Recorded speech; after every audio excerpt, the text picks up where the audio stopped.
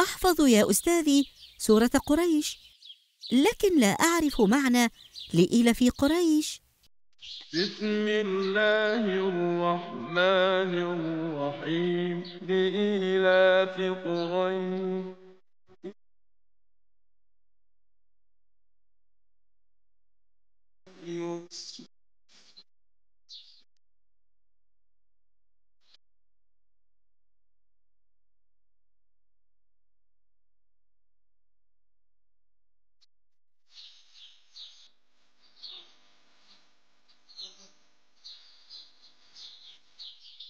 هذه السورة يا ولدي تذكير من الله لأهل مكة بنعمه عليهم لعلهم حين ينتبهون لها أن يقوموا بعبادة الله عز وجل حق عبادته.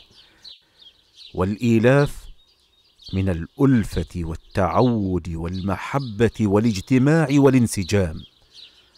ومعنى لإيل في قريش أي أن الله هو الذي جمع أهل قريش بعد تفرق وألف بينهم وجعل بينهم الاجتماع والود والانسجام في بلدهم آمنين.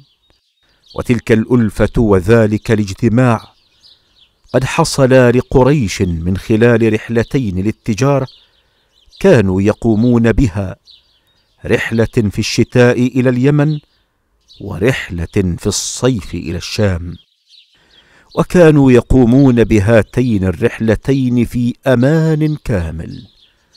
فقد كان العرب يحترمونهم في أسفارهم لأنهم جيران بيت الله وولاة الكعبة فيذهبون آمنين ويعودون سالمين. وهكذا طالب القرآن أهل مكة أن يعبدوا الله الذي سخر لهم هاتين الرحلتين فأطعمهم من جوع وآمنهم من خوف. الآن فهمت يا أستاذي. جزاكم الله خيرا.